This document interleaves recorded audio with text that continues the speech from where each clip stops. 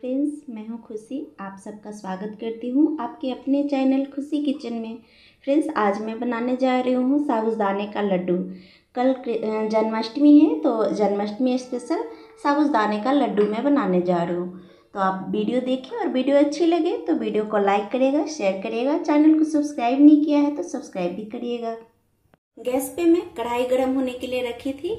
इसमें एक कटोरी साबुदाना रख देती हूँ। और इसको ड्राई रोस्ट कर लेते हैं पाँच से सात मिनट के लिए।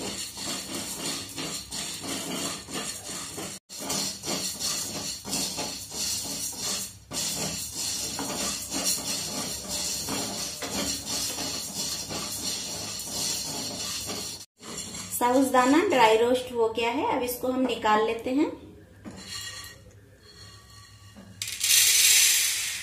इसको ठंडा होने देते हैं, तब तक हम ड्राई फ्रूट को भून लेंगे। इसी कढ़ाई में, इसी कढ़ाई में हम एक चम्मच घी डाल देते हैं।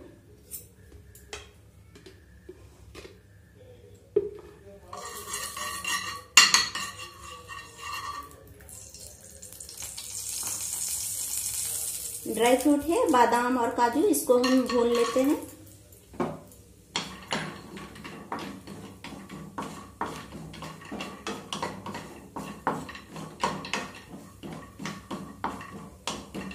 ड्राई फ्रूट को भी मैं एक दो मिनट के लिए भून ली। अब इसको भी निकाल लेते हैं।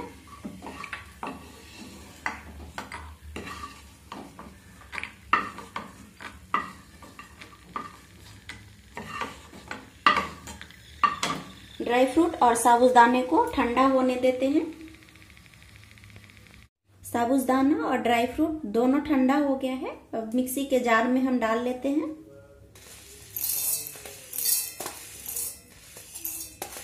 साबुदाने में ही ड्राई फ्रूट को जो भून के रखे थे, इसको भी हम डाल देते हैं।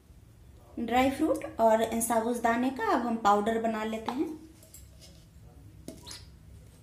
हम ड्राई फ्रूट को साबुदाने के साथ पाउडर बना रहे हैं। आप चाहे तो इसको ड्राई फ्रूट को बारीक काट के रख सकते हैं। आप देख सकते हैं, बहुत बारीक नहीं है, थोड़ा सा दरदरा सा है। इसको ये कढ़ाई में मैं डाल रही हूँ। इसमें थोड़ा सा घी है। इसमें मैं ड्राई फ्रूट को भूनी थी।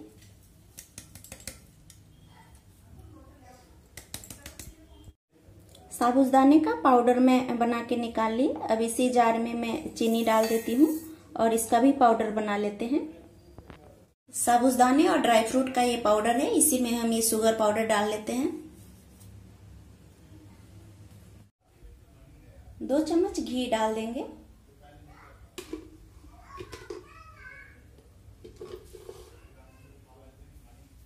अच्छे से मिला लेते हैं। अच्छे से इसमें घी मैं मिला ली। अब इसका हम लड्डू बना लेते हैं। आप अपने हिसाब से छोटे, बड़े लड्डू बना सकते हैं।